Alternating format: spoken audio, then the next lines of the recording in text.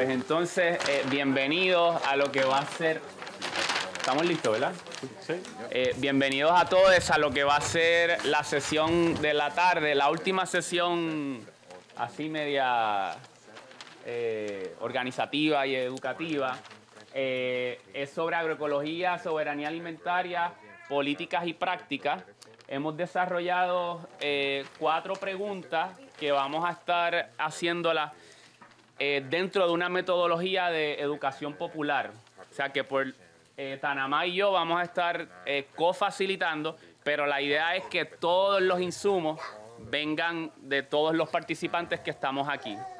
Eh, la tarea fue un poco, ¿verdad?, de traer los, los, los conceptos de agroecología y soberanía alimentaria y ver cómo es que nosotros los definimos o qué nos viene a la mente eh, sobre ellos. Y luego, viniendo de lo que fue la sesión de la mañana, eh, pues aplicarlo un poco a la, a ruta o el camino que se está construyendo aquí en, en Vermont. Voy a mencionar las cuatro preguntas para que las tengamos presentes, pero vamos a ir una a una. Y agradecemos a la compañera Joan que va a estar tomando notas en el papelote eh, para luego al final tratar de recapitular todas las ideas que se compartieron aquí. So I know there's some folks without interpretation device. Okay. So we'll get those out. I was just gonna give context. Yeah. So basically, it's gonna be an interactive um, workshop. So we want y'all to participate as much as possible with these questions. Um, and again, we're just facilitators. We're not experts. We can speak from our own experiences, and we want y'all to do the same. Um, and so that's going to be the flow of the workshop today is to really engage y'all as much as possible um, and really bring your ideas at the forefront. And that's what we want, what we're here for. So we'll get y'all, yeah, interpretation equipment. ¿Debemos seguir o esperamos que lo tengan? No, let's wait for them.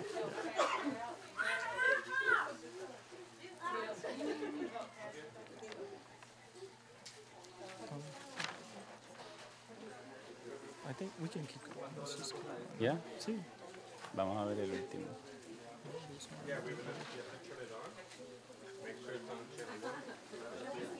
Hey, We're just starting the workshop. Yeah. If you start your interpretation device, you can use that one. Yeah. Aquí.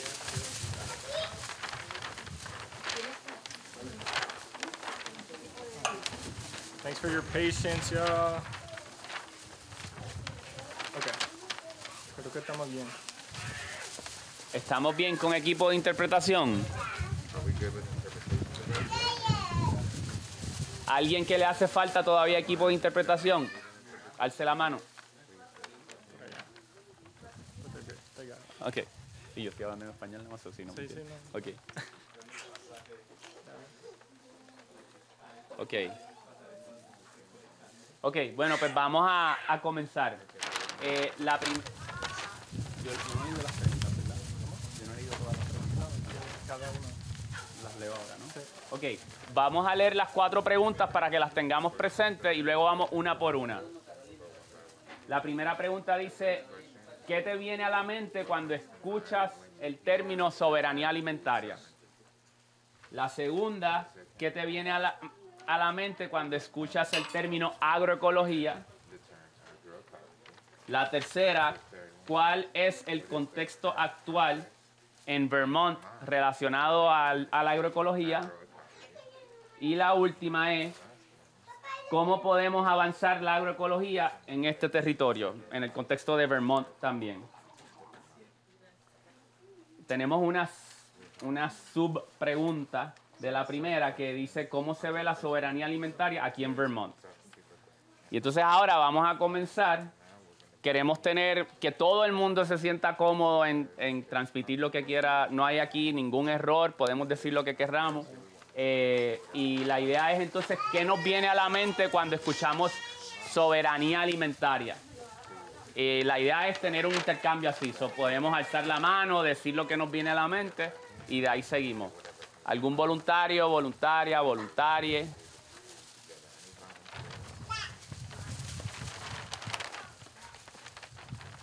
¿Allá? Okay. Uh, lo voy en español.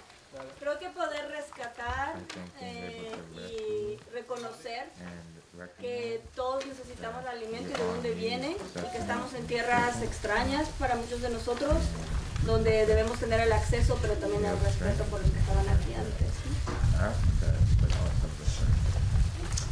¿Alguien más? Yo yo creo que soberanía alimentaria es un término que viene, en mi caso viene de Colombia, es como nosotros somos dueños de la, de la semilla. ¿Qué significa tener la semilla y cómo la cuidamos? Y es algo más místico, no es la semilla en objeto. Y creo que por este poder que nuestras comunidades han tenido, se han realizado muchas guerras en cuanto a cómo otras culturas que utilizan armas, utilizan la violencia, cómo nos pueden apoderar y fragmentar nuestra soberanía alimentaria, que es muy importante porque también es como lo que somos. Nuestros alimentos, cómo hacemos nuestra cultura, cómo desarrollamos rituales con la comida.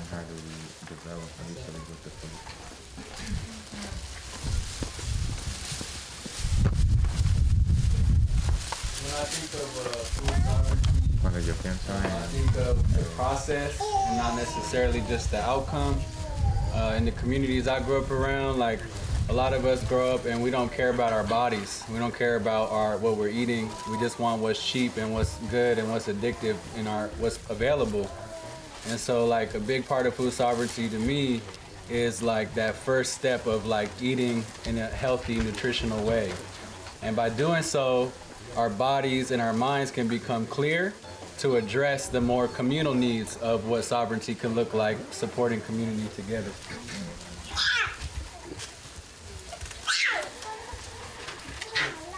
¿Alguien más? No seamos tímidos. there's, one here and then in the back. Go ahead.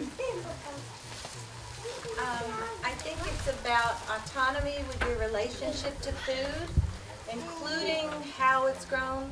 It's not new to so how it's grown, but also what the purpose of it is. We've been so removed from food as medicine and food as wellness and food as us, right? So it has to, I think, be connected that way.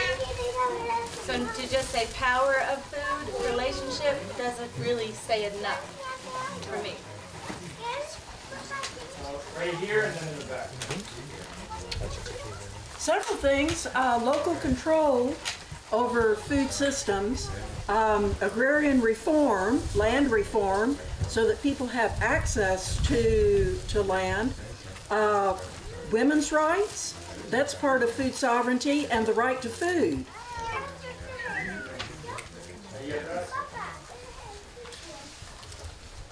También el derecho de la semilla autóctona sobre la semilla o la destrucción de semillas a través de eh, ah, procesos transgénicos o eso, eh, ya que invaden las comunidades donde ah, cultivan la semilla autóctona.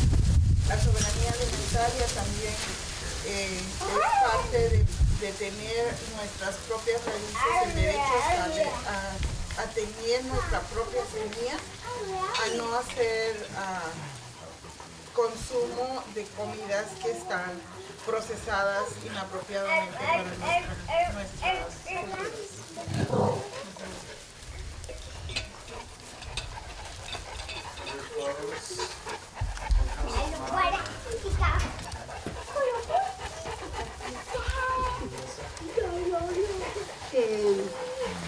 para mí, eh, hablar de, de soberanía alimentaria eh, también me habla de libertad, porque eh, ah, desde hace ya mucho tiempo, ¿no es cierto?, desde que la industria del alimento metió en un envase nuestro alimento para que fuera durable, con preservantes, colorantes, que nos ha enfermado a lo largo de todos estos años, también nosotros no somos, estamos cautivos de esa industria. Y para mí, soberanía alimentaria eh, me habla de, de volver para atrás y volver a, a nuestros saberes, eh, a todo el conocimiento ancestral que hemos tenido sobre el alimento. Y también me habla de que tenemos que respetar, ¿no es cierto?, los que antes, eh, eh, los que antes estuvieron, que eran muy sabios, eh, poder rescatar, porque se está perdiendo en todos los pueblos. Además, eh, soberanía alimentaria me habla que cada pueblo eh, tiene su propia sabiduría. Eh, y con esto de que la alimentación, ¿no es cierto? Porque aquí los, los, los gobiernos hablan de seguridad alimentaria y creen que eso está resuelto nuestro alimento. Y no es así, porque la seguridad alimentaria es tener para comer no importa qué. Y, e- y- y- y- y eso fue lo que hizo la industria del alimento. No importa que comamos basura, pero estamos, eh, no tenemos hambre, ¿no es cierto? Y eso no es. Eh, Entonces, ¿qué pasa? Que por eso es tan importante que seamos conscientes de la soberanía alimentaria y nos hagamos cargo. Porque por eso que me da gusto también que acá, eh, a pesar de que a lo mejor se ven algunos eh, dificultades aquí en Vermont, pero sí es importante que eh, si aquí hay gente, si hemos podido llegar todo este grupo humano a trabajar, y, y incluso diferentes países por esta escuela agroecológica, ya estamos haciendo soberanía alimentaria, porque estamos reflexionando, estamos hablando y nos estamos haciendo conscientes de lo que es nuestro alimento, que es un alimento sano. Además, tenemos que hablar de los mercados cortos también con la soberanía alimentaria. Cómo llegamos desde nuestros campos, alimentamos a nuestro pueblo, porque eh, ¿por qué yo tengo que comer en Chile todo el grano de acá de Canadá? Eh, y, los- y mi campo, mi campo en Chile eh, eh, produce los productos de exportación que vienen para acá, con toda la contaminación que eso genera el transporte del alimento. Entonces, ¿y a quién estamos alimentando? Porque los productos nuestros que vienen de Chile de exportación, a quienes llegan acá en Estados Unidos, Europa, son a las grandes élites que pueden pagar por ese, ese al- alimento, esos, esos productos de exportación que son caros. Entonces, eh, y nosotros además también tenemos que pagar caro por los granos que nos llegan de acá, de Canadá o de Europa. Ahora mismo, con toda esta crisis eh, alimentaria, eh, ahora recién en Chile están diciendo, y yo creo que en todos los países, ¿por qué dejamos de producir grano? ¿Por qué dejamos de producir el trigo? ¿Por qué? Y ahora no vamos a tener ese alimento. Yo creo que es un buen momento para reflexionar y un buen momento para fomentar mucho más la agroecología y la agroecología nos hace mucho más sentido y, nos ha dado la razón a todos los que hemos venido hablando, a todos los líderes, a todos los dirigentes campesinos, ¿no es cierto?, campesinas, de todos estos años que hemos hablado de soberanía alimentaria, de agroecología, como lo ha hecho la vida campesina, y ahora es un momento de esta crisis que recién las autoridades están tomando sí. Tenemos que a lo mejor eh, tomar es- esta bandera del choque, también se están apoderando, porque también ojo, que tenemos que tener eh, mucho cuidado con eso, porque también se quieren apoderar del término los grandes empresarios que también están hablando de agroecología. Pero no es la agroecología que estamos haciendo nosotros los campesinos y los a través de todos estos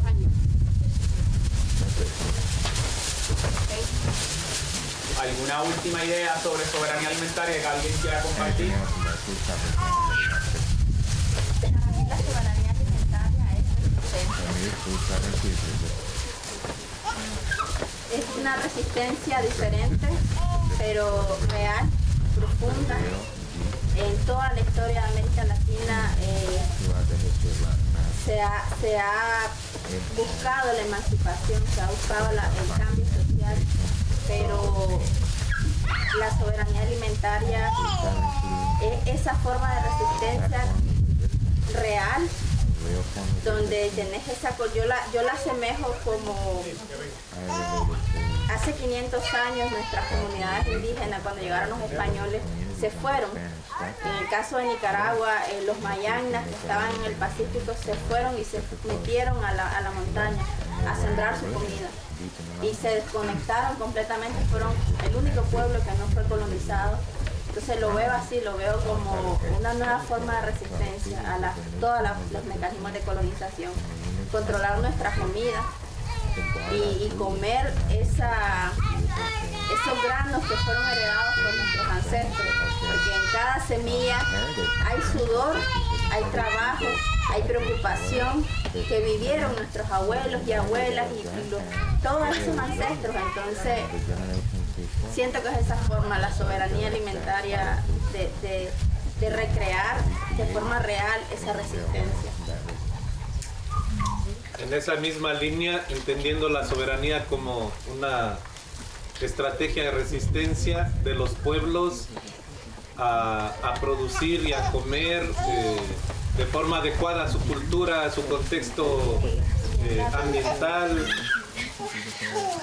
Ah, también creo que tiene que ver con una resistencia al modelo capitalista que busca eh, expandir que busca seguir creciendo a costa de la depredación de la naturaleza, de los seres humanos y, y eso hace la diferencia de esta propuesta de la, de la agroecología, de la soberanía alimentaria eh, radicalmente. No es solo un tema semántico, de, conceptual. Hay un contenido fuerte político detrás y que es una, una propuesta de resistencia, obviamente, a toda la política de acumulación del capital eh, depredador y, y eso... Ah, a la vez implica entonces que detrás de esta propuesta de soberanía alimentaria tiene que haber organización campesina, tiene que haber movilización, tiene que haber formación para tener conciencia de que no solamente es producir y comer, sino que está detrás todos estos elementos que ya pusieron, semillas, agua, biodiversidad y todos los derechos que podamos incluir ahí. Entonces una cosa es la vida, pues hablar de soberanía alimentaria es hablar de la vida.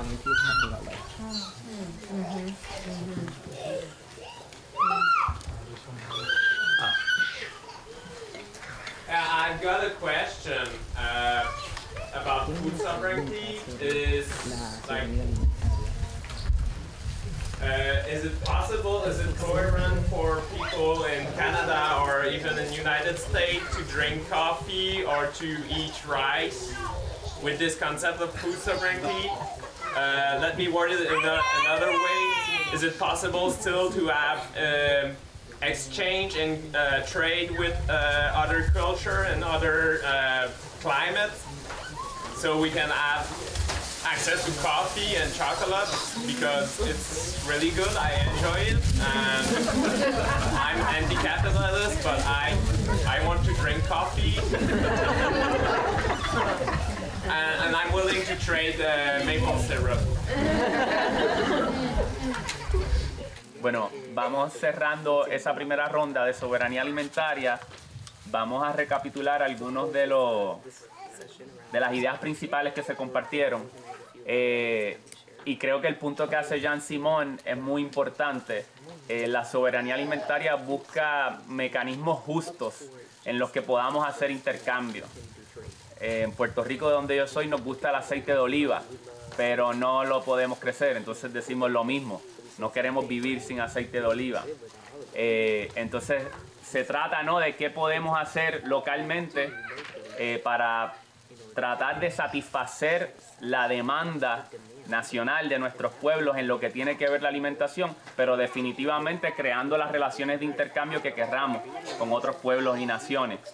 Por decir algunos de los términos que se mencionaron o de las ideas, eh, quería resaltar que todo lo que se compartió aquí es representativo de lo que la vía campesina como un movimiento internacional define como soberanía alimentaria y reconocer que ese procedimiento, que igual que lo hicimos aquí, pues ha tomado muchos años, muchas reuniones de organizaciones en diferentes países que trabajan en el campo, en la, en la costa y en la ciudad, eh, para eh, formar lo que es la sustancia de lo que es este término eh, y creo que logramos definir soberanía alimentaria, eh, resaltar algunos aspectos que se mencionaron eh, sobre el concepto anticapitalista, ¿no? la soberanía alimentaria se plantea otra forma de vivir, más consono con la madre tierra, el tema de la resistencia, trabajar la soberanía alimentaria es resistir el, el, modelo global y el modelo que impera en muchos de nuestros países.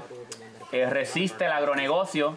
Eh, decimos que la soberanía alimentaria busca que la comida esté en ¿verdad? Los sistemas agroalimentarios estén en manos de la gente y no de un puñado de corporaciones.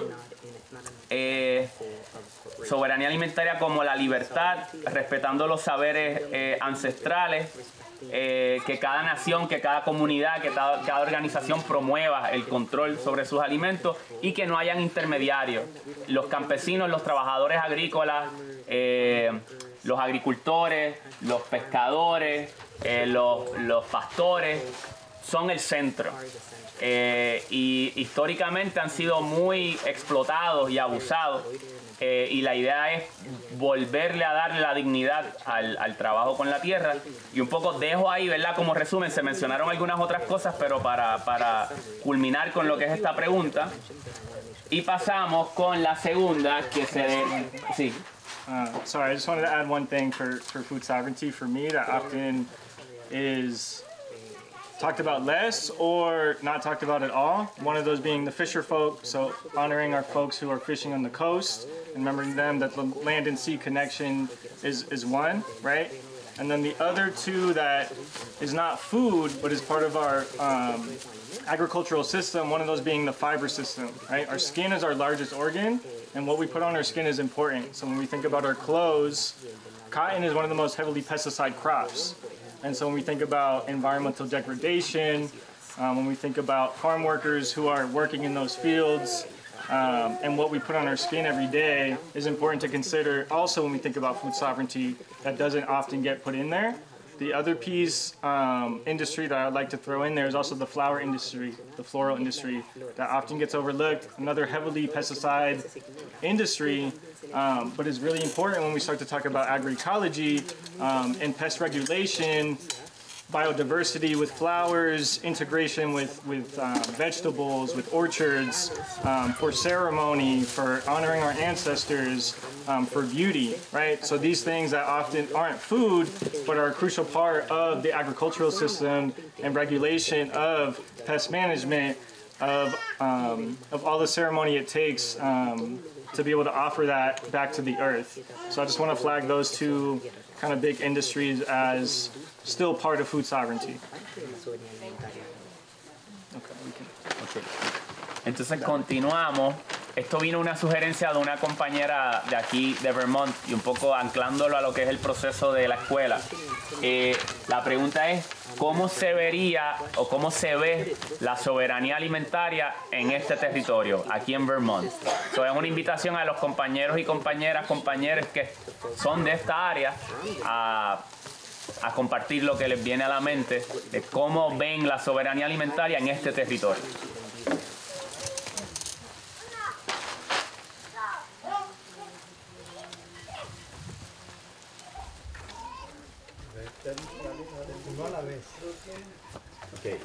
Empezamos contigo. Um, free food in abundance. Um, and also um, understanding the plants that are here, that are food, that are not celebrated by the marketplace. Um, one example is the Everytown project. I think there's people here that could speak to. One example is the Everytown project, and there are people here that can speak much more directly to that. But I think that addressing historical injustices and land access um, is something that I see starting to happen slowly here, and I think for me that really is a big part of what food sovereignty looks like here is access to land. Uno por allá, ¿no? Me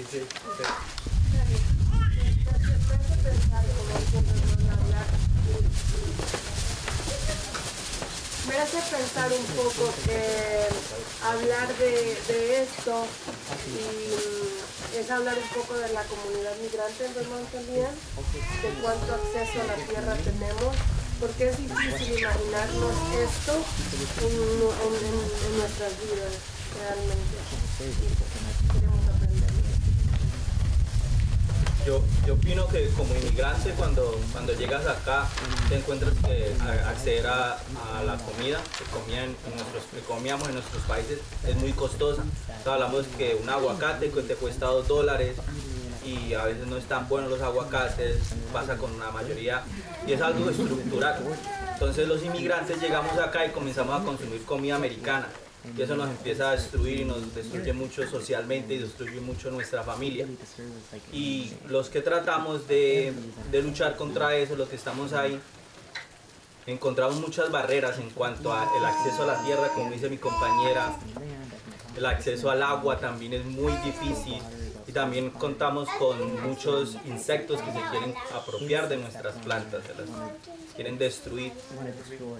Entonces, sí, sí veo como, eh, como inmigrante una estructura, o sea, hay un sistema, no hay como programas del gobierno que capaciten a los inmigrantes como cómo poder cultivar su propia comida, la, comida que cultivaban en sus países y ya la vengan a, cultivar acá, porque también destruyen mucho los rituales. Yo hago, ah, estoy en un programa que se llama New Farmers, New Americans, que provee, es, este eh, es un programa que provee educación, semillas, tierras, pero no es suficiente. No es suficiente para la cantidad de inmigrantes y refugiados de la necesidad que hay.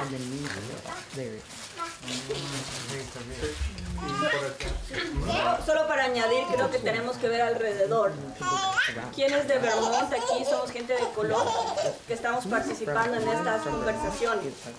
Vermont se conoce mucho por eh, su naturaleza y su tierra y todo, pero como decía mi compañera, es no solo para la comunidad migrante, pero para la comunidad negra, entender, aceptar, ver una opción. Eh, especialmente cuando hay espacios como estos donde no, no estamos presentes. Y nosotros estamos participando ahora solo en este pequeñito momento del encuentro porque nuestra comunidad no está todavía en este nivel y tenemos que reconocer quiénes están trayendo estas conversaciones y, entender más y aprender también.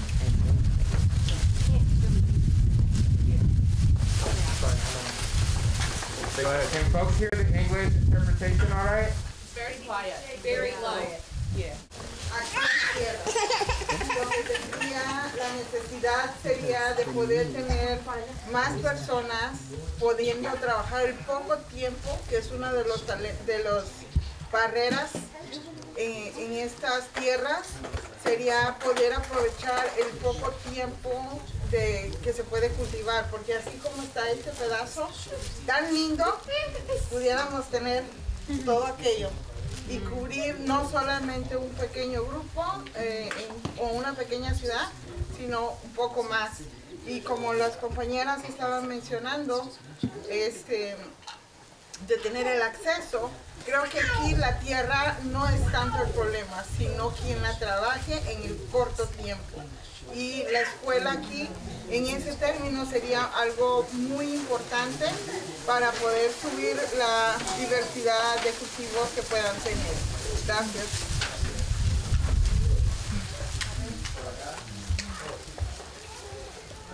Sí, muy similar a lo que estaban compartiendo. Creo que cuando hablamos de Vermont, ¿verdad? Hay que, hay que reconocer que Vermont es un estado muy blanco, ¿verdad? Mayormente.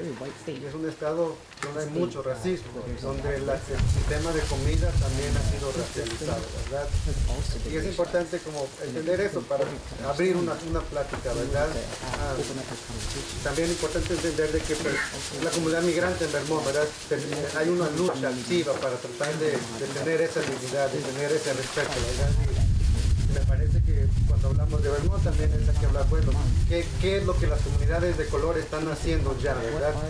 ¿Qué es lo que, cómo, cómo apoyamos ese, ese liderazgo, cómo seguimos esa, el liderazgo de esas comunidades, ¿verdad? Porque creo que están definiendo su propia forma de cómo tengo dignidad, ¿verdad? Cómo, cómo tengo acceso a la comida, ¿verdad? Y eh, ya creo que quería mencionar eso, es importante tener ese contexto, ¿no? De que estamos en un estado donde pues sí, eh, somos perseguidos por la migra, ¿verdad? Si vas a una tienda a comprar al Walmart, por ejemplo, te ven que eres de color, ¿verdad? La, la migra te va a detener. ¿verdad? Entonces creo que hay, hay mucho de ahí de, de entender de cómo Vermont, el sistema de, de comida en Vermont está bien racializado, ¿verdad? Y, y cómo seguimos el liderazgo de esas comunidades eh, que ya están como liderando esa visión de qué es, qué es este, dignidad, qué es algo digno, qué es el respeto, ¿verdad? Y creo que y eso es soberanía para, es nuestra definición de soberanía, ¿verdad? Tener ese acceso, ese respeto y para nosotros se logra como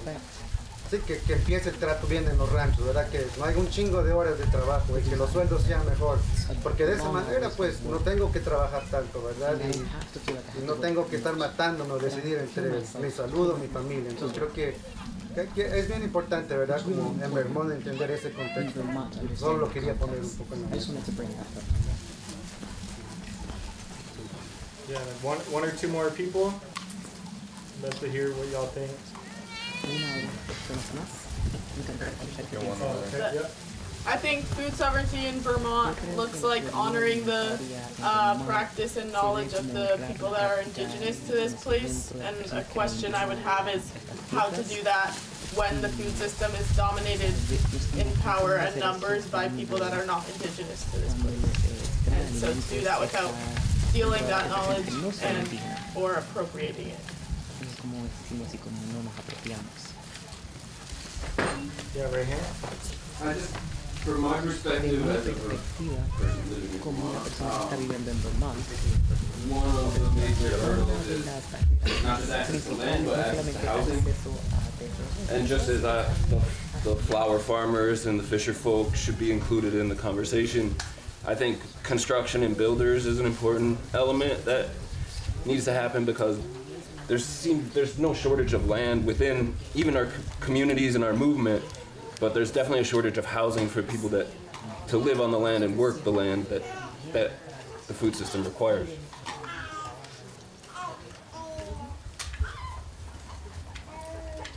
Uh, I mean, I just wanted to, uh, I'm not from Vermont, but there are things that come to mind around what the purpose of a food, a school like we're talking about, folks are talking about would be. So, I, so, you know, we can talk in general about what race means in terms of Vermont, but if I'm not mistaken with the, the numbers that were given, there's eight black farmers in Vermont.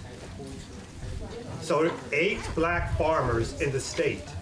So there's no way we could be talking about we're devising a system that's people of color led, that's bringing sovereignty to black folks. That's really not the purpose of your school, even if you use the language. In fact, it's almost appropriating language for something you can't accomplish, right? Not pure purposefully so, but it makes us feel better to say it when we actually can't do it in a state that has a very low population of folks of color, right? So instead, if a school is going to be in Vermont, then speak about the things that you can do here, which could be cooperative enterprises, which could be a more even distribution of farmland to working class and poor whites, which could be finding food sovereignty channels that can reach other communities that are in need of food. So in my opinion, you talk realistically about what you can do, because if you're going to set up something here and you use language which is not really usable in a place like Vermont, then we're only making ourselves feel better for something that we're really not working on. Um, so we're interested in working with black communities in particular, then we would think about either a stage one, this or, or stage two, where you're going to a place like Mississippi or a place like Georgia or other places where there are more black farmers. And then there's a conversation around what food sovereignty means for black communities or brown communities in places like that also. So I think we just have to make sure that we're not using rhetorical devices that we're used to using because they make us feel like we're doing something we're not, but we actually focus on what you can do by taking the honest look at the place where you're at.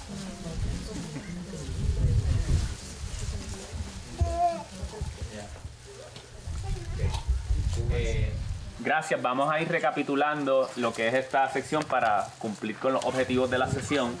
Eh, eh, se mencionó eh, comida accesible y en abundancia, eh, entender las plantas que no necesariamente están incluidas en el mercado, eh, acceso a tierra, un gran énfasis en la comunidad migrante aquí en, en Vermont y los retos que enfrenta esa comunidad. El tema de las condiciones eh, de Vermont siendo un estado muy blanco, eh, no solamente acceso a tierra, sino acceso a, a- la, a la vivienda, eh, la construcción también. Y el último punto que se resaltó, ¿no? De- de no buscar una retórica, que, nos, que nos haga sentir bien, sino que trabajar con las condiciones materiales que están en el territorio. Ok, vamos ahora a pasar a la tercera pregunta y de ahí seguimos. Okay. So we're gonna yeah. So that, that we have a little bit of ideas about food sovereignty, what we're thinking about. Um, we're gonna transition into sorry.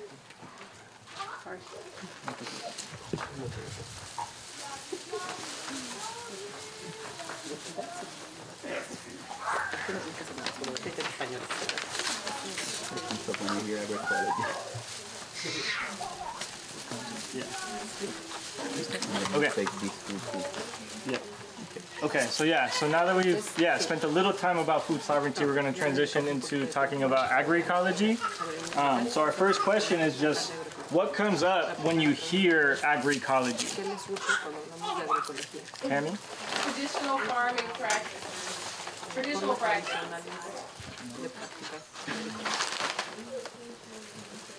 ¿Qué más? In the back.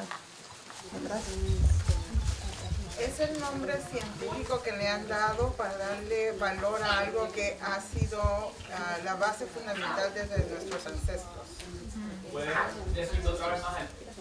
Ah, es la, ah, la palabra compuesta ha sido ah, para ponerle un nombre científico a algo que ha sido eh, desde nuestros antepasados la base primordial de la agricultura.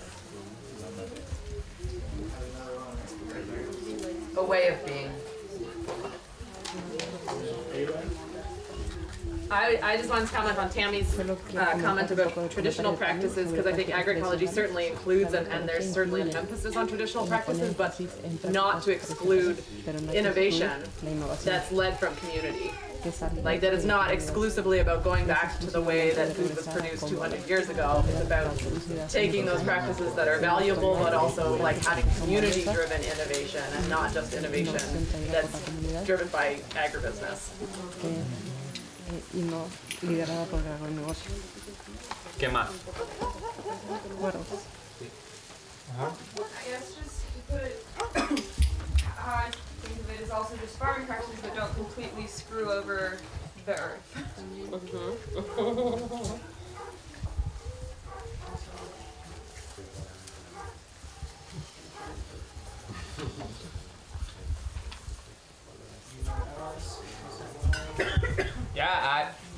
I, like to talk of agroecology as the intersection of four sciences, which are ecology, biology, agronomy, and social sciences.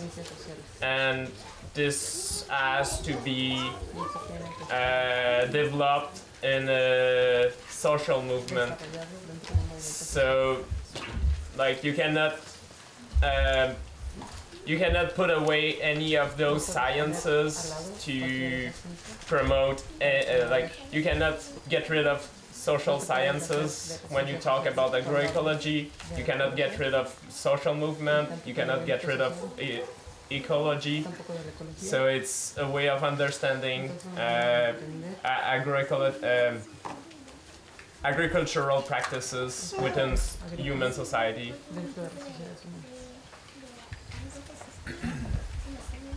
Take a few more. I'd love to hear from someone who hasn't spoken here yet. ¿Alguien más? ¿Alguien que no haya hablado que quiera participar?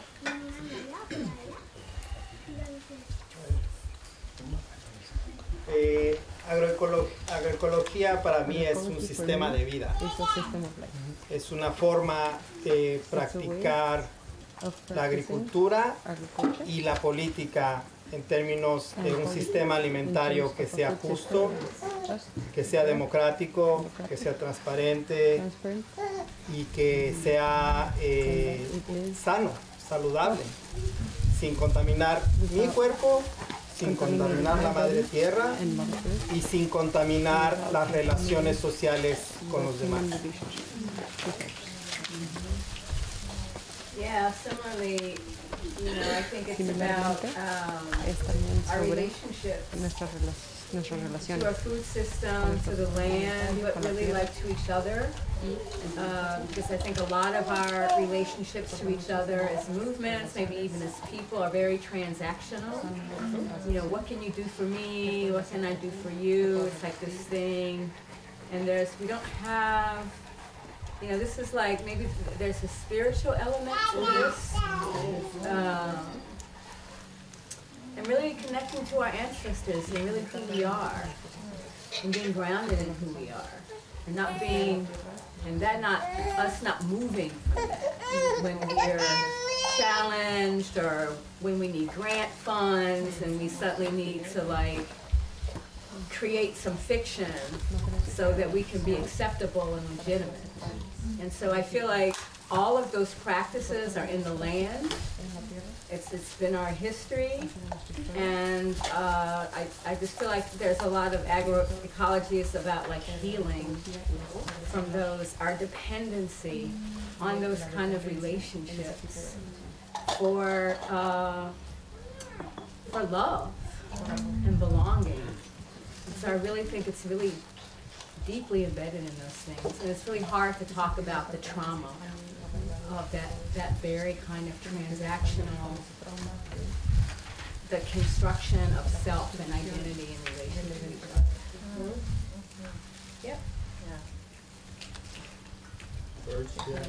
Uh, So we- Western modernity is predicated on separating the human from the natural world, right? The so-called natural world. So for me, understand agroecology as a reintegration of that, right? And a lot of folks have talked about returning to an understanding from our ancestors. And I think that's exactly it, right? Reintegrating the so-called human back into the so-called nature, right? Yeah.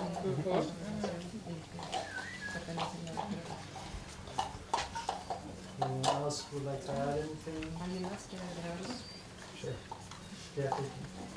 all of those things sound beautiful, and uh, it just reminds me that uh, we we take care of these these medicines, the foods that we put inside of us, because they take care of us. It's just reciprocal, and so we need to remember that um, to take care of them because they take care of us. Tenemos que cuidarlos porque cuidan de nosotros también.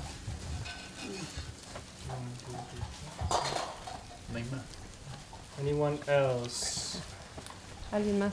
No, yeah, no wrong answer. Yeah. No hay respuesta incorrecta. Muy buena. Americans are not, like most of the plants that I try to grow die.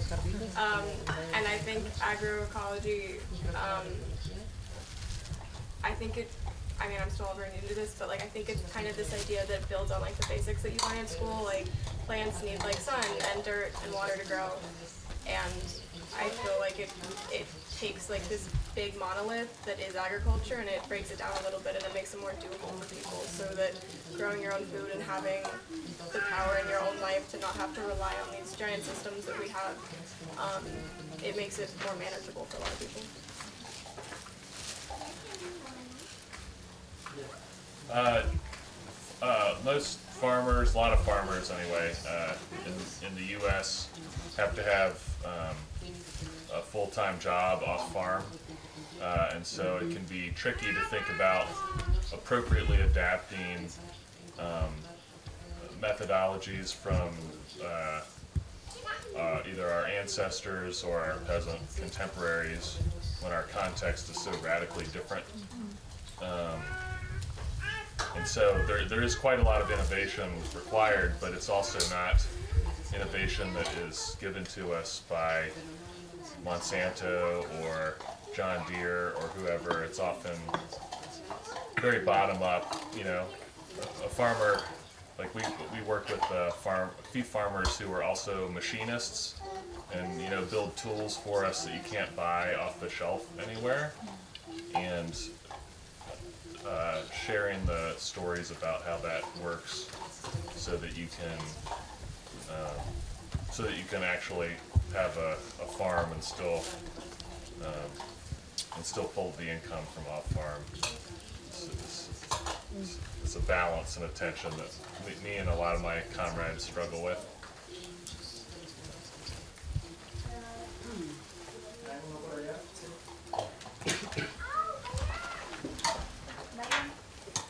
Qué, qué fácil se dice, voy a sembrar,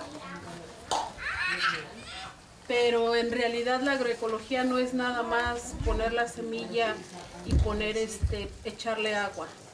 Mucha gente utiliza fertilizantes químicos y está acabando la tierra, no la nutre. Y en la agroecología es un ciclo donde si tú no le das lo que la planta necesita o la tierra necesita, no te va a nutrir la planta. Para mí es un ciclo, es cuidar desde Pachamama, cuidarla y de ahí ir cuidando tu planta agro- agroecológicamente. ¿Cómo? Con nuestros saberes ancestrales. Existen esos saberes ancestrales que a pesar de que digamos eh, el cambio climático y todo eso, podemos hacer algo mucho por el cambio climático, pero tenemos que hacerlo todos, no unos cuantos, desde reciclar, desde producir este ah, para poder nutrir tu planta, de que si la vas a dejar a dormir tienes que ponerle algo que la nutra, no nada más dejarla así dormida, tienes que dejarle, ayudarle a, a tu planta a crecer, porque es como un niño, una planta es un niño. Si tú a tu niño no le acercas educación, no le acercas conocimiento, valores y todo eso, va a crecer sin nada. Entonces, eso es la agroecología para mí. Llevar todo de la mano y nutrir la tierra. Y sí, tenemos que trabajar todos porque no todos estamos en ese mismo camino. Entonces, a todos los que ya estamos encaminados ahí, tenemos que jalar a los otros que se están rezagando, que no se están juntando para trabajar con nosotros. Y para mí la agroecología es todo, porque si no tenemos luz, no tenemos, no tenemos plantas. Si no tenemos tierra, no tenemos plantas. Y si no tenemos plantas, ¿qué no tenemos? Comida. Nada más. Gracias. Eh, pues hemos, hemos establecido que la agroecología es un sistema agroalimentario, es una forma de vida, es un espacio donde nos organizamos a través de movimiento social, es una palabra científica de algo que ha sido la base de nuestros ancestros, es sabiduría ancestral es manejable, es viable y promueve el cuidado. Y quería añadir que como un dato, el, entre el 60 al 70% de la comida en el mundo es producida por agricultores, campesinos, trabajadores agrícolas, en mayormente fincas de pequeña escala, muchas agroecológicas utilizando aproximadamente el 30% de la tierra arable disponible en el mundo, mientras que la agroindustria eh, produce alrededor del 30% de la comida, manejando casi el 70% de la tierra arable del mundo. Lo digo porque el concepto de la agroecología y la soberanía alimentaria pueden sonar utópicos, eh, pero son, es la vida de millones de personas en el mundo. Es muy fácil dentro del contexto de Norteamérica, de Europa, pues eh, hablar del, del- del- del- de la agroindustria. Pero si vemos continentes como Latinoamérica, África, Asia, todavía la, la- la actividad agrícola es muy, es muy alta, ¿no?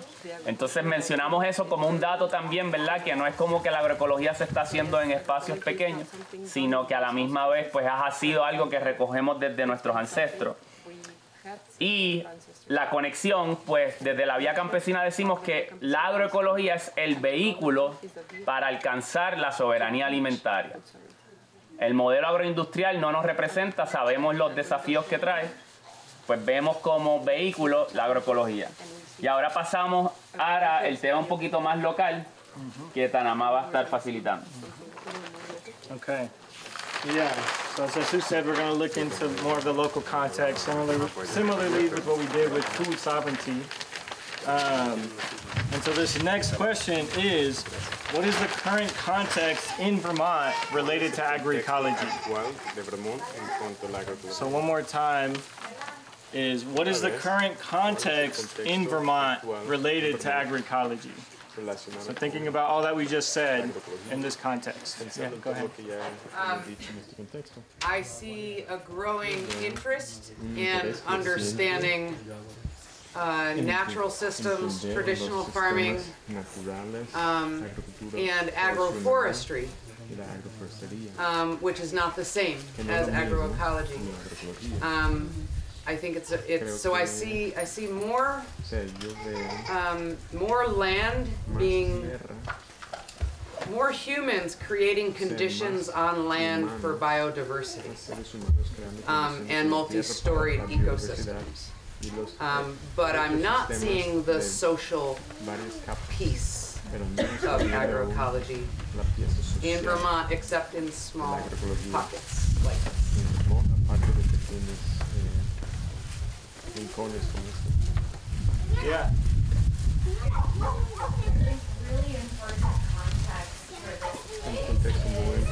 Este lugar where Vermont is situated donde está situado Vermont into the climate crisis. geográficamente. This is an area that's projected to have less harsh impacts of the climate crisis than most other places, and it is Vermont has uh, the top, or like um, within the top ten counties in the entire nation. Vermont is like the top six of, of those or something. It's like projected to be a more habitable place, and I think in in living here and in choosing to live here there's there's responsibility in that and that's that's like creating a welcoming place for other people to be able to come to. And climate migration is really the biggest impact here. And so far we've really like we, we've dominantly seen wealthy white homogenized climate migration. And that's a pattern in history that we have to stop and so like i see that as part of this context and this exchange between cultures and lands and places and contexts. And this is a this is a place to be able to welcome people. And it can be a climate refuge if we really work on this social piece and like we might have more resources you know over the next 50 years than some other places like water. Um, but it's not a refuge if it's only open to a few people.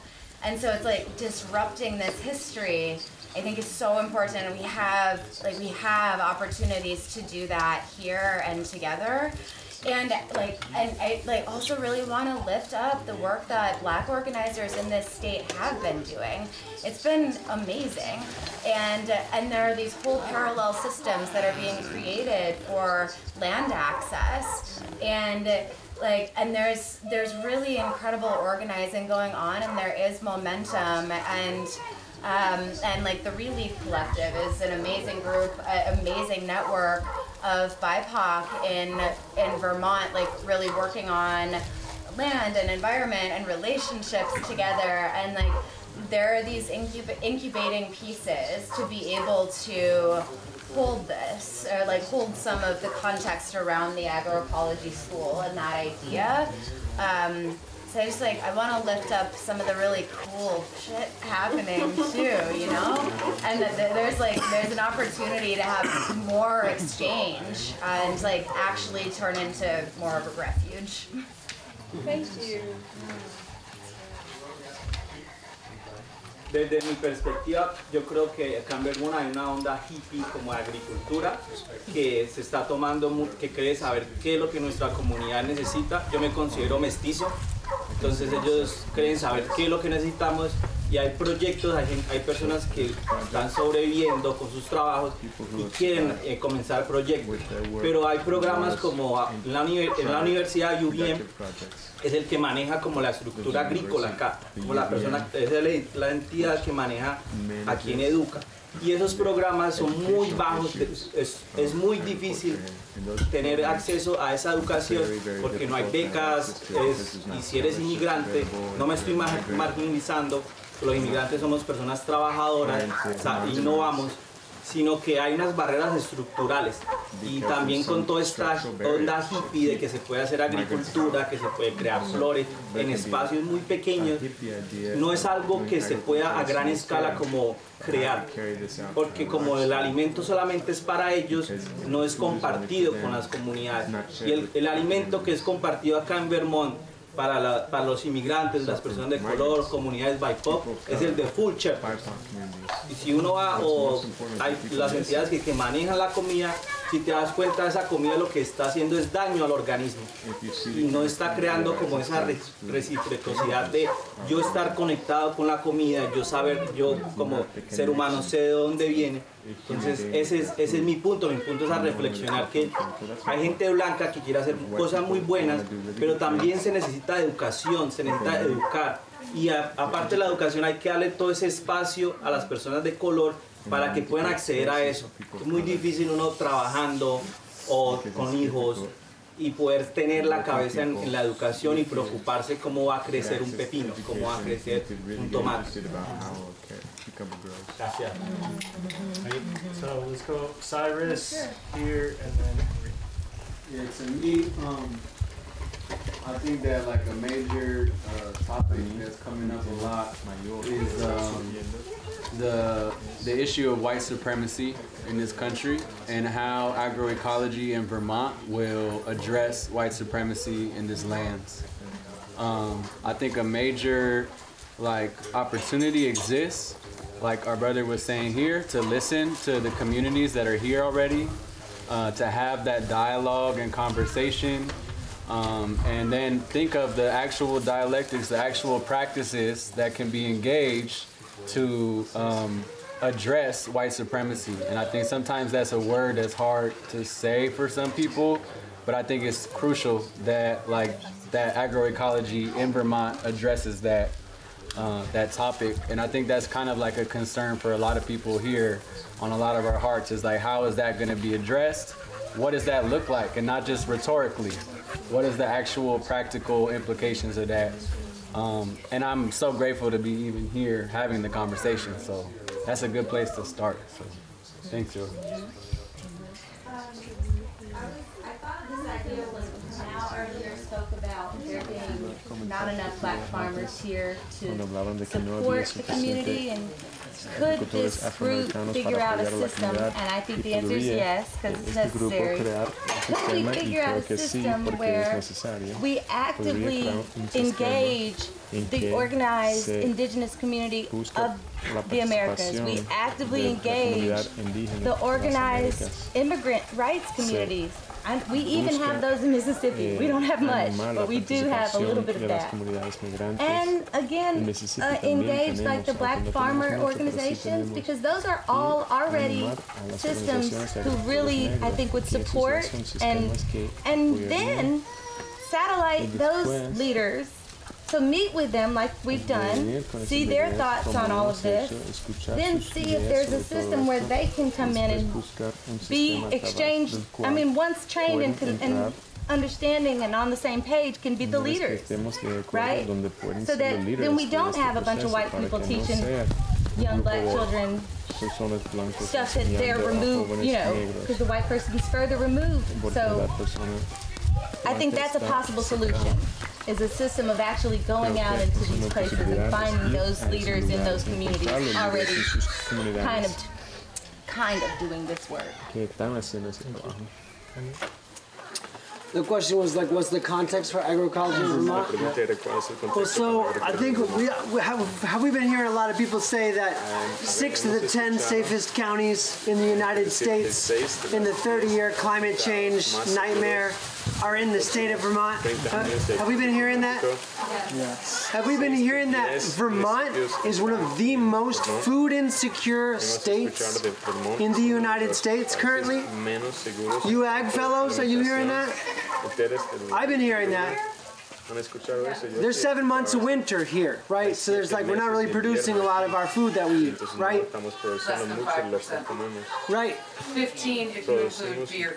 Right, food sovereignty. Remember the standard for food sovereignty, right? I love that beer. I think we've also been hearing that uh, 60% of the farmland in Vermont is owned by uh, and in conventional dairy production. Right, 60% of the farmland, and all those those folks are like 75 years old who own that land. All that land's about to transition, right? Now, what I'm saying here is like could be seen as being really discouraging, but it's actually just the challenge ahead. There's this like opportunity where you know we could be talking, and I think it's important that we talk about who's saying things, right? But also it's important like who's doing things and what's being done. Access to resources will be created or it will not be, and that's got to continue to be part of the conversation, right? Now, I don't want to represent white urgency by saying we don't need to listen to this other stuff because, oh my God, everything's on fire, let's run. We do need to listen to all of each other's voices. I'm ethically invested in anti racism and destroying white supremacy. I'm also personally and practically invested in that because in order to make a transition of all of that farmland into a food sovereign economy, we need a bunch of help a bunch of fucking help, right? And so people who are like-minded and have standing in these issues, right?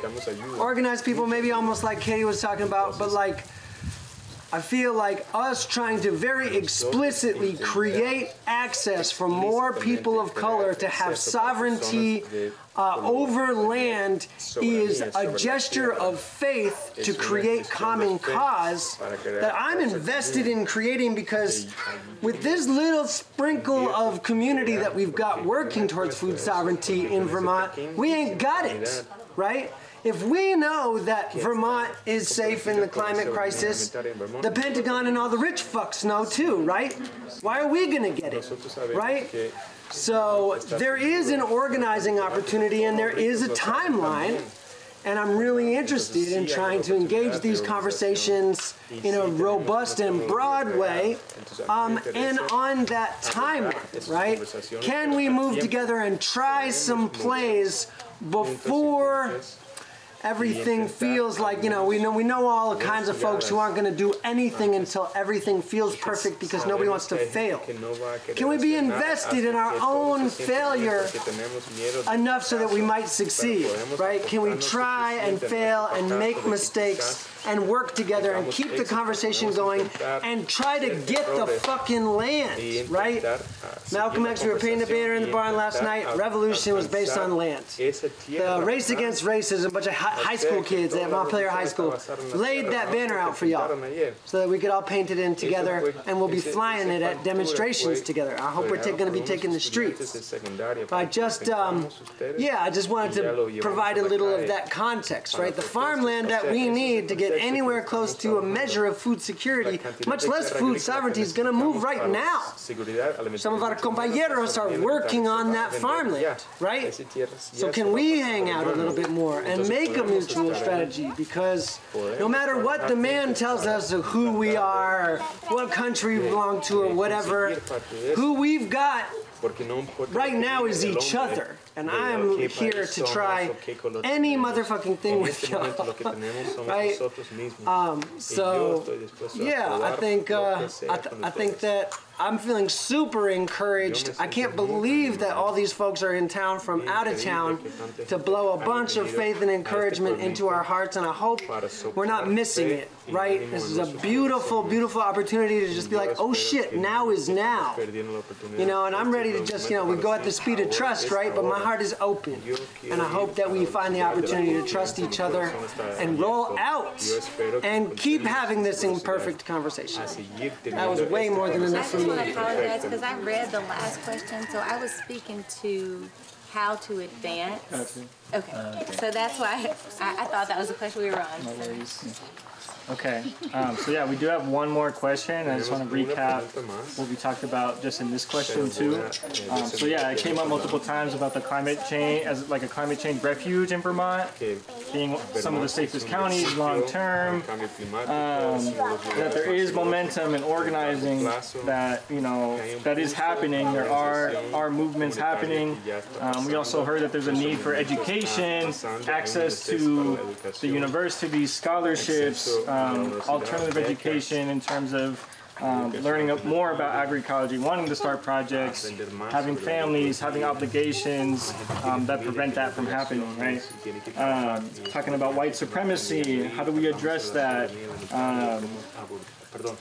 And, and yeah, and following what, what Henry was sharing about this timeline for that transition um, and the amount of land that's going to turn over very soon. Um, so just that, so that we're all on the same page about what the context is here in Vermont. Um, so now we'll move to the last question. Thanks for being here with us.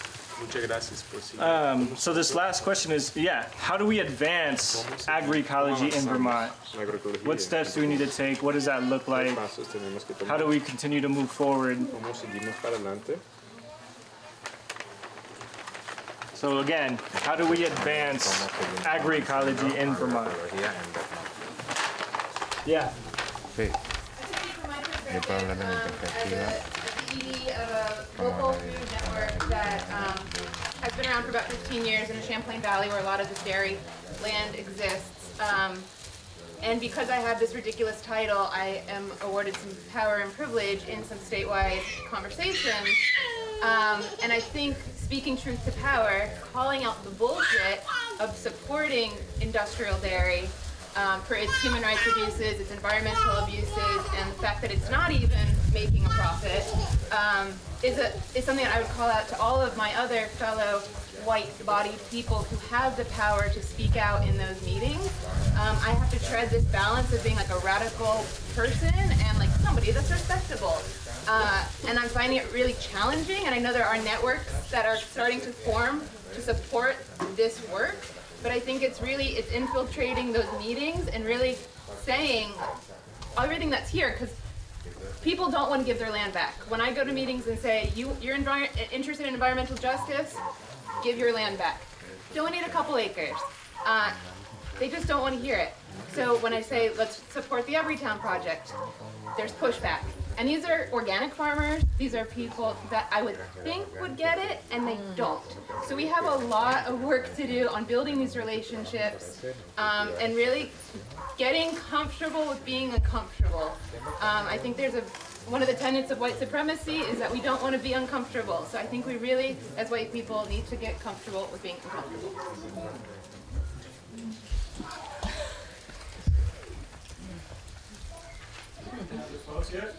Um, I think just to Lindsay's point, it, it seems to me, or maybe just what I'm wondering, is like where the school might fit in within the wider network of what's already here.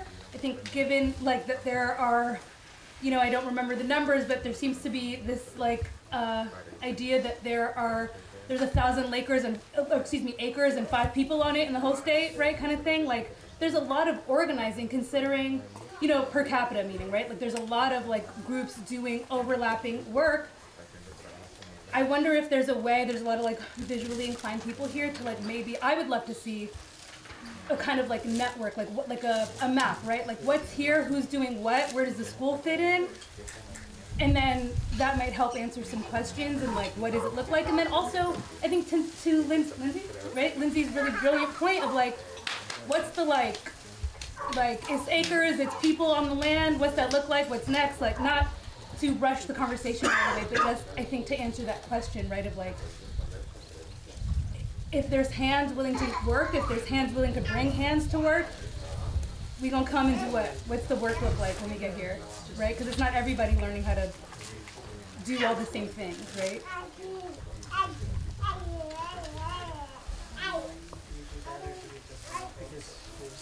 Uh, one idea that comes to mind for me my apologies. I, I spoke a few times now, but uh, you know, organizing an additional encounter, encuentro, with uh, all the comrades and organizations that are local in Vermont, creating a nice, beautiful container and allowing those conversations to guide the steps moving forward. We might not have all the answers. A lot of us, like myself, is not from here. But if all y'all came together, you can pull your resources, your information, your connections, and then find your path, your, your direction from there. So that might be an idea.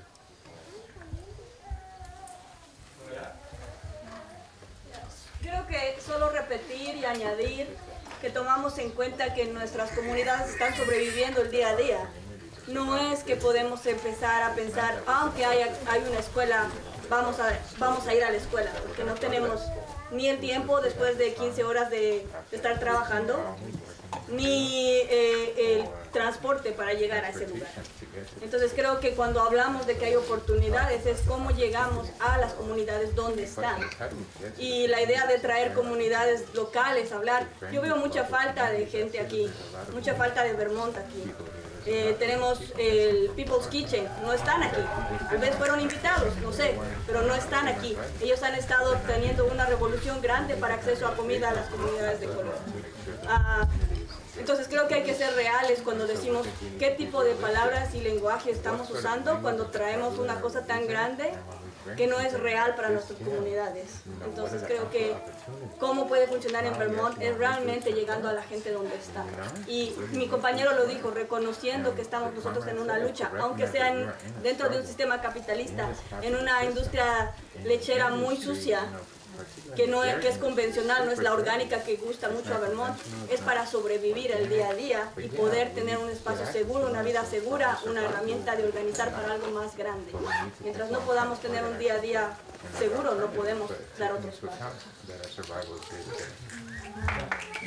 Yo creo que para avanzar con una escuela también se necesita estudiar lo que es la justicia en cuanto a cómo las personas que han hecho daño porque han producido toda esta, cap- toda esta productos no orgánicos y han, han dañado la tierra, entonces movernos a algo cuando está también herido las almas, está herido la tierra y encontrar que hay personas que su ego no, es, no los deja decir perdón o tomar propiedad de los errores que ha cometido su papá o su abuelo, porque si nos damos cuenta acá en Vermont eh, las tierras también han sido heredadas y esas tierras fueron robadas de, estas personas. Entonces hay que hacer una reparación también. Hay que devolverle a las personas y hay que tener un sentido de equidad. Y utilizar también prácticas restaurativas, que es algo que también con agricultura puede dar una forma y pueden avanzar.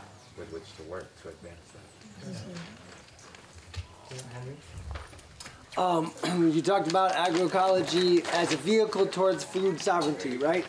So that means it doesn't matter if we're all learning, you know, how to plant corn, beans, and squash in our window box, or you know, we got to be applying this stuff at scale. We have to have the people power to be able to apply it at scale. So, just to sort of challenge this whole concept of what a school is, right?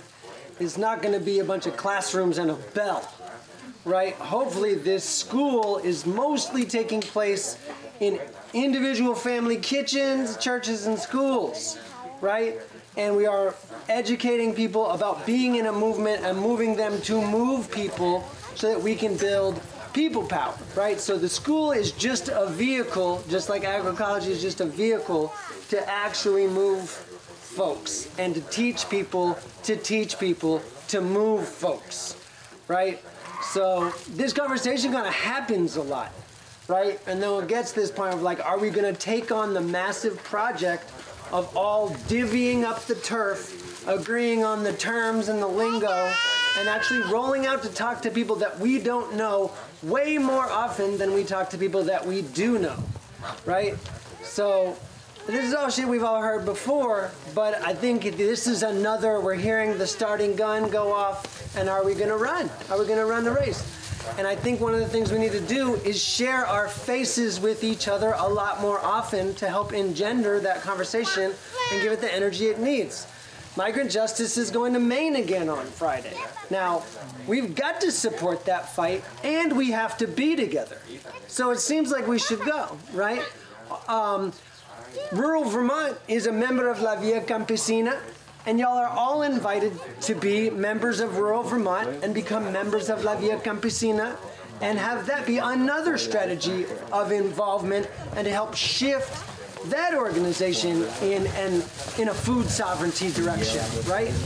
Um, but I just really hope that we get to set the table for each other more often and spend more time together and keep this conversation hot about trying to talk to other people and trying to build a base that could apply these methods and these ethics at a scale that mattered at all right so not to be too cynical but I, re- I re- that is a really hopeful statement on my part I left out something on that answer. Mhm. The other thing that we would do, because by engaging each community strategically, they can tell us the needs. We can be a manufacturer to, you know, to a degree. We can, by design, meet each community's needs if we seek that as our choice.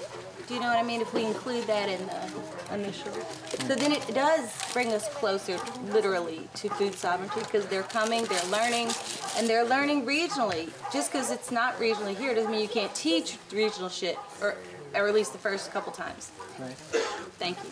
So we're gonna be closing out the session. We'd just love to open it, yeah, for another another comment or two. Go ahead. I just want to make, make one more plug for housing. I think like housing is a crisis in Vermont. I totally want to make Vermont a welcoming place for climate refugees.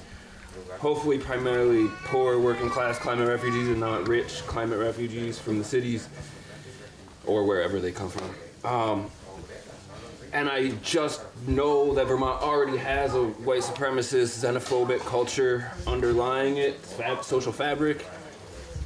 And I think if the climate refugees are competing with the poor white working class that already have xenophobic tendencies, it's a a, a situation that I, I want to mitigate and prevent. And I think building more housing, making it accessible and abundant for working class folks, poor, white, and people of color is is an important thing. Yay. Is there anyone else that wanted to comment before we close out? Okay, so let me just recap from this last question. Um, yeah, we heard talking about from advocacy, calling out, you know, the bullshit of, of the dairy farmers out here, getting into policy, um, and that there's a lot of work to do there. Um, we heard about like asking where does the school fit in with, with the advancement um, of agroecology, with the wider network of Vermont, ma- a mapping network. Um, we also heard about how communities are just living day to day, right? They don't have time to go to school, they don't have transportation, there's difficulties in achieving those things. Um, and there's also need for repair, right? Reparations, repair, restorative justice also needs to be part of that process. Um, and then of course housing, right? We need to live somewhere. Um, so that's that's another big piece that came out of this. Um,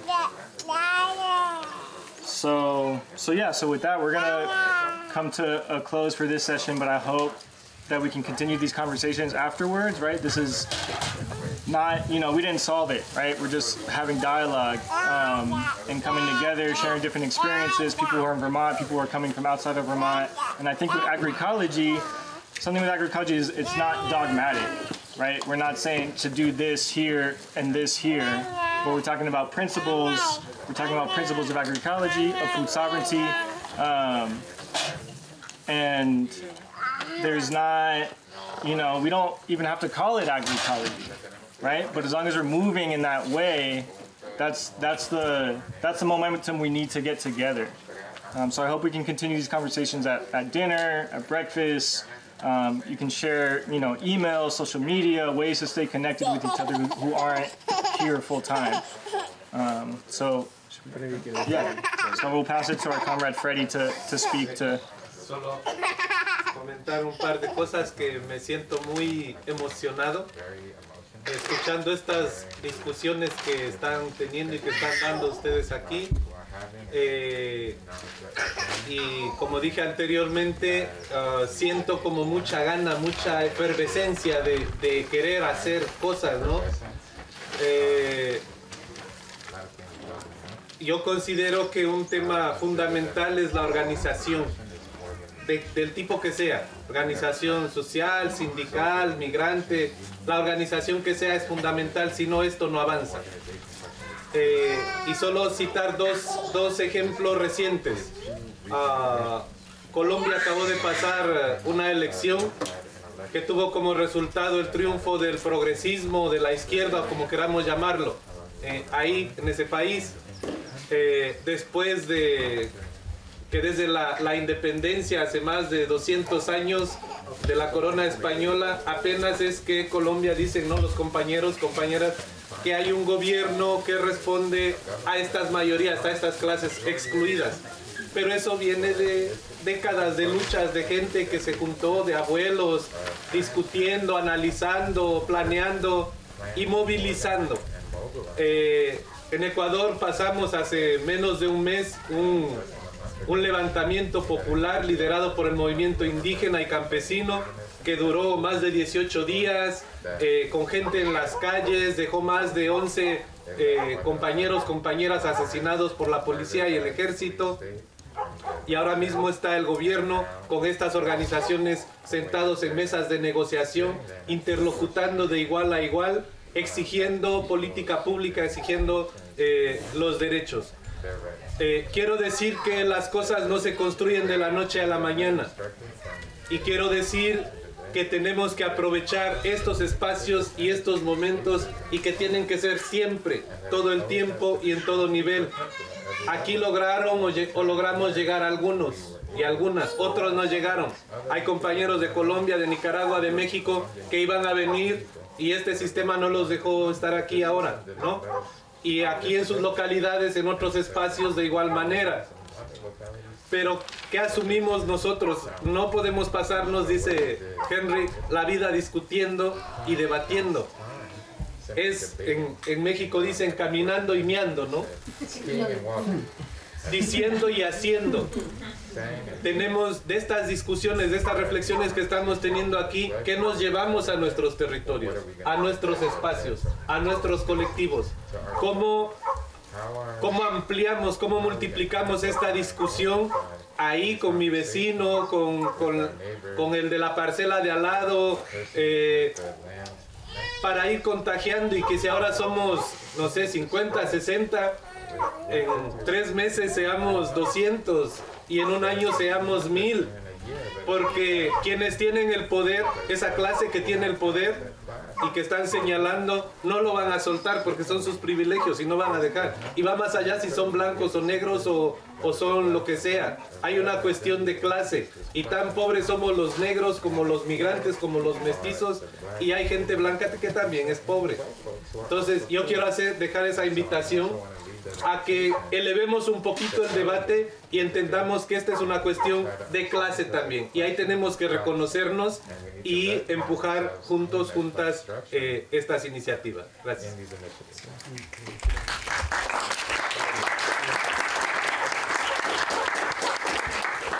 Eh, gracias compañero Fred. Yo también quisiera como esa invitación.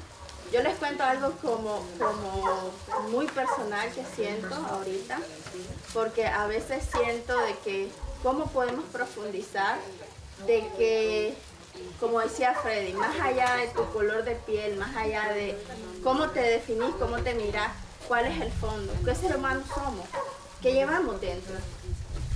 Porque realmente, les cuento por ejemplo yo en mi país, yo vivo en la parte pacífica y crecí en la parte pacífica. Y cuando yo voy caminando por ahí, la gente me dice, pero tú eres costeña. Dice, quiere decir afro-nicaragüense. Voy a la parte de afro-nicaragua y me dicen, pero tú eres indígena.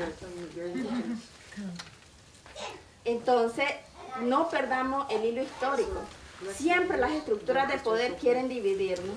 Ha sido que si tu nariz es así, que si tu pelo es así, que crear divisiones superficiales. Porque toditos comemos, toditos vamos al baño, toditos sentimos, amamos, somos seres humanos, más allá de, de que de, de cómo sea mi pelo, como sea, es que llevamos en el corazón. Y para mí la agroecología es un camino para que seamos mejores personas, más mejores personas en, en- lo más profundo de nuestra alma, el nuevo ser humano. Porque el capitalismo es un sistema que nos contamina tanto y peor aquí que es el, el seno del monstruo capitalista. Nos contamina de miedos, nos contamina de egoísmo, nos contamina de, de, cual- de todos los monstruos humanos. Entonces, para mí es como nos exorcizamos constantemente y buscamos esa vía a través de la organización para eh, crecer. Porque a partir de ese nuevo ser humano podemos construir nuevas sociedades. Eso es lo que les puedo decir desde, desde, desde mi corazón y desde la experiencia en Nicaragua. Nosotros en el grupo que, que somos de Yala, eh, somos diversos. Y buscamos cómo, porque los problemas son muchos, o sea, el mundo está en crisis, el planeta Tierra está llorando, está llorando, no, no es una cosa que, que, una discusión que podemos ir y podemos ir, necesitamos hacer camino al andar. Y que vamos a encontrar diferencias, sí vamos a encontrar diferencias. Pero fíjense ustedes que las transnacionales no miran diferencias, no miran si son blancos, si son negros, si aquí es México, si aquí es Nicaragua, no miran. Para ellos somos los mismos seres humanos. Y a veces nosotros desde abajo sí vemos diferencias, entonces tenemos que, para mí, cómo logramos también en, juntarnos en la diversidad, pero reconociendo que más allá de la forma y las diferencias, tenemos un espíritu y una gran familia. Y es la familia humana. Y que así como decía el Che, si usted es capaz de sentir indignación y dolor ante la injusticia, usted es mi hermano, usted es mi familia. Entonces, que, vea, que nos veamos así más allá de, de, cómo, cómo nos dolemos, porque el camino es difícil y el proceso es difícil, las cosas no son como hacer tortillas. Así decimos en Nicaragua, no es que tortilla y pones y ya, no. Eh, y de regreso, y de regreso. Pero aprendamos de, de la historia, miremos hacia atrás. En todo, por ejemplo, en México y Centroamérica siempre el poder fue dividir, que no nos reconociéramos como, que no se juntaran el pueblo indígena con el pueblo negro. Siempre fue la historia. Y así perdimos. Lo más, lo más que quiero también compartirles de mi historia personal es que luego yo decía, soy negra, soy indígena, ¿quién soy yo? ¿Qué soy? Soy clase obrera porque vivo en un barrio. ¿Quién soy? Fui buscando, fui buscando por mi familia. Y mis padres nunca me decían. Y cuando vos buscas en la historia, por ejemplo la historia de Nicaragua, el mestizaje es una mentira. No hubo el mestizaje que te dicen que traemos sangre española. Es falso. La mayoría de los que somos seguimos siendo gente indígena, pero el dolor, la violencia, la guerra, no hizo que en dentro de las familias no contáramos de dónde venimos, porque era vergüenza decir sos chorotega, sos náhuatl, sos, eh, era vergüenza. Y así va, y lo peor que va familia por familia, familia por familia, y es lo mismo. Si, si empezás a hacer el linaje, venimos. Mis abuelos, algunos les he contado, mis abuelos eran subtiaba. Y vas encontrando, y es difícil ir encontrando ese hilo, pero más allá de eso, lo que nos une es, si nos sentáramos aquí a contarnos, venimos de África todito, somos una gran familia humana y tenemos el corazón. Todos traemos dolores. Si nos pusiéramos a hablar cada uno que nos duele, no salimos de aquí hoy. Y el capitalismo es uno solo. Y no nos fragmentemos, no nos atomicemos. Porque solo una sola golondrina no hace verano. Entonces solo no podemos. Ni viendo las diferencias, nunca vamos a terminar. Solo podemos ver lo que nos junta, lo que nos une, para poder sanar, porque sanación solo es colectiva, no hay sanación individual. Entonces, eso es compartir.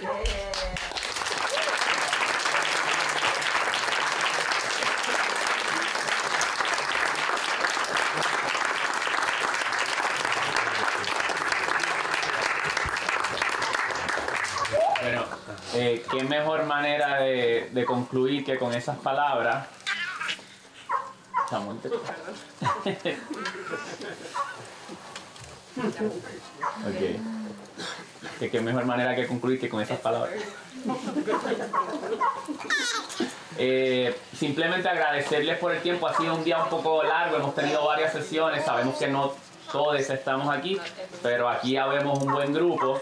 Eh, cumplimos los objetivos. Se nos dio la tarea de traer algunas provocaciones y recoger los insumos de quienes viven aquí o quienes frecuentan, quienes vienen de invitados. A que sí que agradecerles por la participación activa. Eh, tomamos nota, todo esto va a quedar sistematizado para que luego se pueda seguir trabajando con el proyecto que se está gestando aquí de la escuela. Los compañeros, compañeras, compañeras que estamos aquí de otros países estamos en la voluntad de apoyar y asistir, pero este proceso se corre aquí mismo. Eh, y esto ha sido evidencia de ello. Eh, nos gusta terminar diciendo algunas consignas y tener... Ah, antes de decir la consigna, el tema de las palabras que lo dijo Tanamá. Eh, los términos son importantes y no son importantes son una guía, por lo tanto hay que defenderlos, pero a la misma vez es, es lo que pasó aquí, cómo nosotros colectivamente los nutrimos, ¿no? Eh, porque en mi país, en Chile, aquí mismo, eh, se estaba haciendo agroecología desde antes que existiera el término, ¿no? Entonces en ese sentido es, es- más importante la práctica, ¿no? Eh, pero a la misma vez hay que defenderlos porque la agroindustria, las multinacionales quieren agarrarlos y usarlos para otros propósitos. Entonces, en, esa, en ese espíritu, pues queremos terminar con una consigna, si todo el mundo se puede poner de pie, o aquellos que puedan.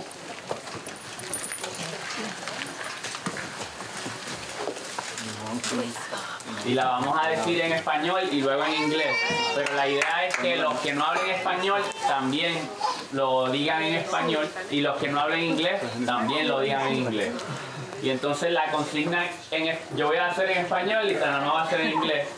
Eh, la consigna dice agroecología por el pueblo, por la vida y para siempre. Es larga, pero va a ser más fácil. Yo voy a decir agroecología y todos ustedes van a decir por el pueblo, por la vida y para siempre. Vamos a hacerlo. Una, dos y tres. Agroecología. Por el pueblo, por la vida, para siempre. Agroecología. Por el pueblo, por la vida y para siempre. Agroecología. Por el pueblo, por la vida y para siempre. Okay, so now in, in English, I'll say agroecology. Y'all will say by the people, for life, and forever. Okay? So, agroecology. Agripeople for life and forever. Agroecology. For people, for life and forever.